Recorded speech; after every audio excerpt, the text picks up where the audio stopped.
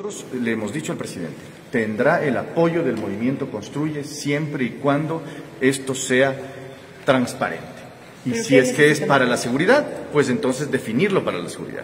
Si no es para la seguridad, entonces decir que no es para la seguridad es para estabilizar la economía, la, las condiciones eh, de la economía y pues por ende ahí eh, podrían obtener nuestro apoyo. Es decir, ustedes van a respaldar el aumento del IVA siempre y cuando exista un detalle de a dónde van los recursos. Solo eso están pidiendo. no, y solo, apoyan? no solo un detalle.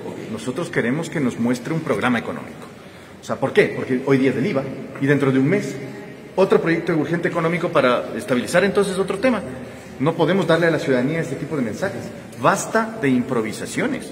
Aquí necesitamos certezas del Ministerio de Economía, transparencia en las cuentas y además objetivos definidos en la Asamblea Nacional.